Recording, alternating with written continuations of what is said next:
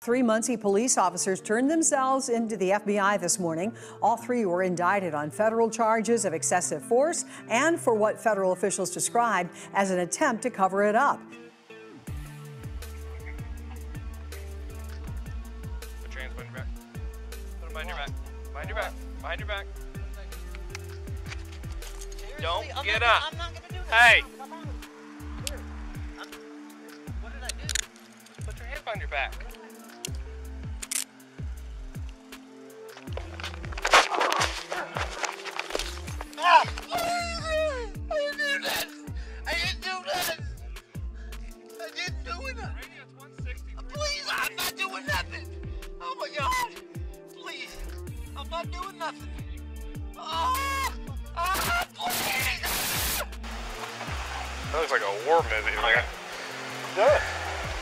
Welcome back to Legal Dissent, where we evaluate your constitutional rights before they're taken away.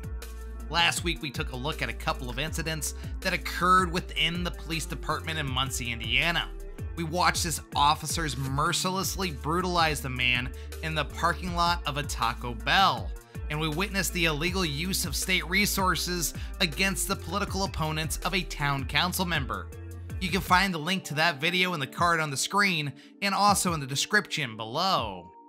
Now we will evaluate yet another body cam video that displays the actions of the son of the former chief of police doing what one officer described as a scene out of a war movie. On June 9th, 2018, Officer Chase Hunter was traveling east on Jackson Street when he observed two males on bicycles cross at an intersection without stopping at the stop sign.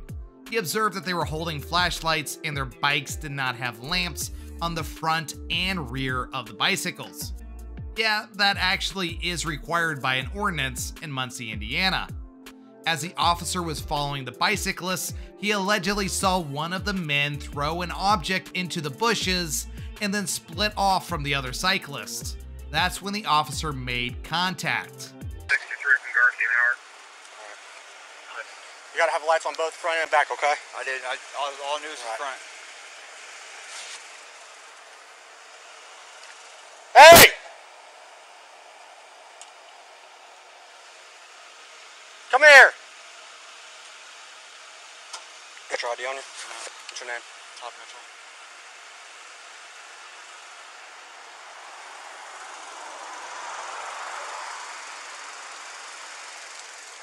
Get off your bike. Get off your bike for a second. You got anything on you? No. Nothing on you? You gotta have lights on the front and back of your bike, okay? Oh man. Yeah. I thought it was the front. Nope, front and back. I thought it was the front. Nope, front and back. What's your name? Jesse. Jesse what? Jesse. Okay. And you said what? Top Mitchell. Okay. Hey, big deal. Chase me with a bike. Yep. Cause a lot of traffic. It's a traffic. traffic hazards. Oh. Well, I knew. That's why I'd asked about the lights, but I didn't know. Yeah. Have a seat with him. What- What's in your back? You got anything on you? Yeah. Well, I got just. Uh, I got a pocket knife. Right there. You mind if I grab it? Yeah. It ain't open.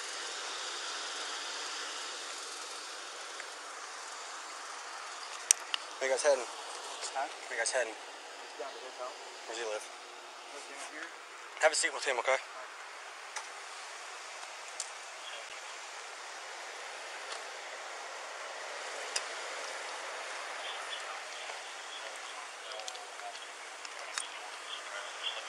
Here you go. Thank you. Watch him. He threw something in the bushes when I came around. Uh, uh,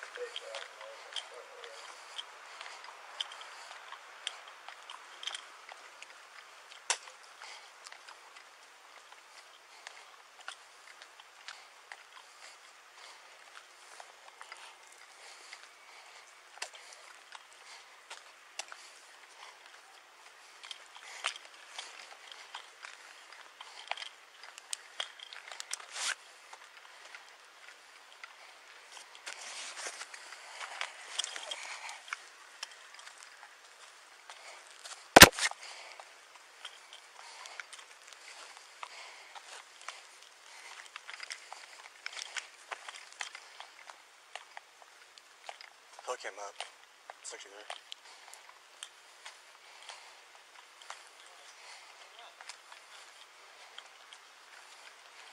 Put your hands behind your back.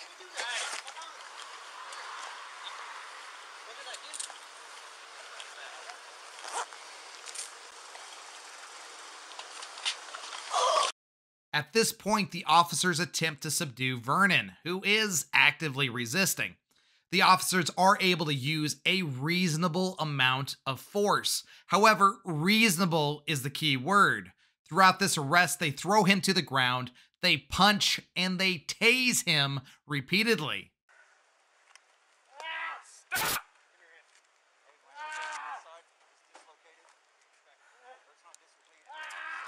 Stop!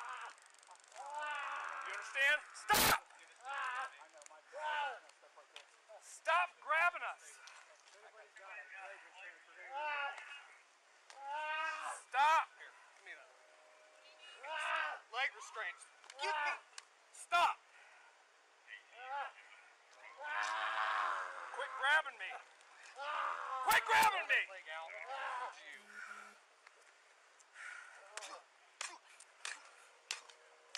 Stop it! Plus, this is just another example of body cams falling off or not working as intended just when they are needed the most. But this arrest was just the tip of the iceberg with the Muncie Police Department and Winkle especially. Joshua Douglas, Danny Terry, Manny Montero, Lonnie Gammon, and now Jesse Vernon all had lawsuits filed against the police department within the span of just a couple of years. All of these cases involved officers utilizing unreasonable amounts of force, and they each reached an out of court settlement. Those settlements racked up a bill of over $1.2 million. The tally of violations and lawsuits began to attract the attention of the FBI and sparked an investigation that led to the indictments of four officers. Chase Winkle, Jeremy Gibson, Corey Posey, and Sergeant Joe Krejsa were indicted for their roles in allegedly using excessive force against suspects and allegedly attempting to cover up the misconduct. Uh, Krejsa left the Muncie Police Department retiring in July of this year, but the other officers are still employed with the department, and one of them is still being paid with your tax dollars. This time around, the tables were turned as the three Muncie police officers walked into the federal courtroom with shackles on their feet, handcuffs, and body chains. The three are facing 12 counts of making a false report and deprivation of rights. Only our cameras were rolling as Chase Winkle walked out of federal court with his father, former police chief Joe Winkle. Chase, do you have anything to say about the charges that you're facing? I don't, David. Joe, do you have anything to say? No thanks. Muncie police officer Corey Posey is accused of falsifying a report involving suspect Lonnie Ganem. The allegations came out in a 2020 civil suit against the city, as well as an April 2021 federal indictment against Posey. Despite this, Posey continues to collect a paycheck. Corey Posey is a patrolman with Muncie Police. He's been with the department since 2018. His salary, $56,000 a year, a salary he's still collecting despite facing a federal charge for false reporting. According to the indictment handed down April 13th, the allegations stem from a 2018 incident. The indictment says Posey wrote a report that implied suspect Lonnie Ganem failed to comply with commands. The indictment also says Posey omitted that his colleague, Officer Chase Winkle, struck Ganem's head and neck with his knee and also omitted that Winkle caused Ganem's injuries. Posey is charged with one count of writing a false report and faces up to 20 years in prison if convicted. Police Chief Nathan Sloan placed Posey on administrative leave with pay the day after the indictment. On Wednesday, April 14th of 2021, a federal grand jury returned a 17-count indictment charging 3 officers and 1 sergeant. They were charged for excessive force and attempting to cover up their crimes. The son of former police chief Joe Winkle is charged with five counts of depriving five different arrestees of their rights to be free from excessive force and six counts of writing false reports about his use of force.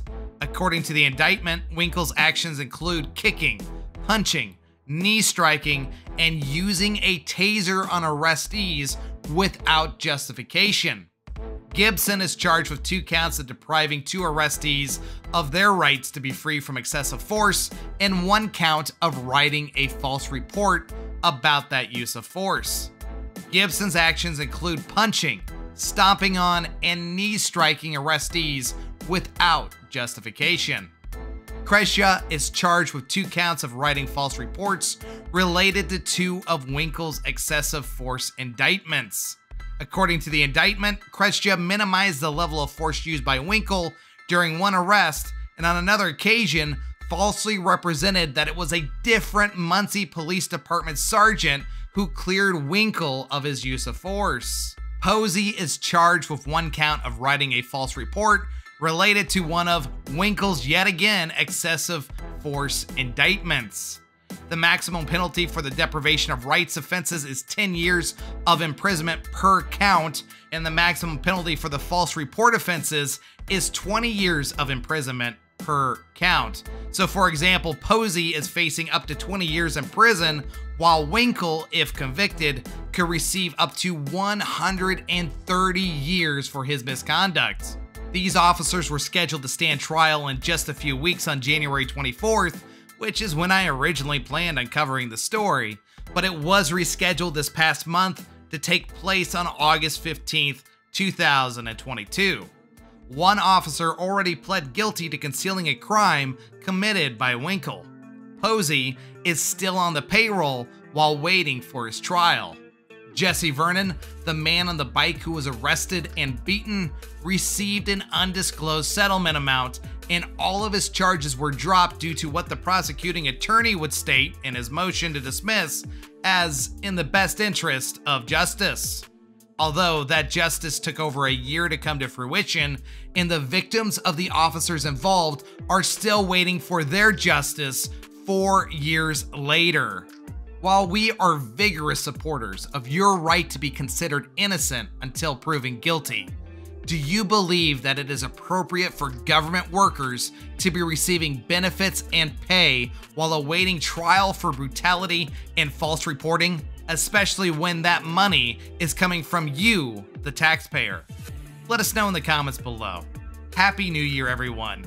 I wish you all joy in 2022 and I give you the promise that the best is yet to come.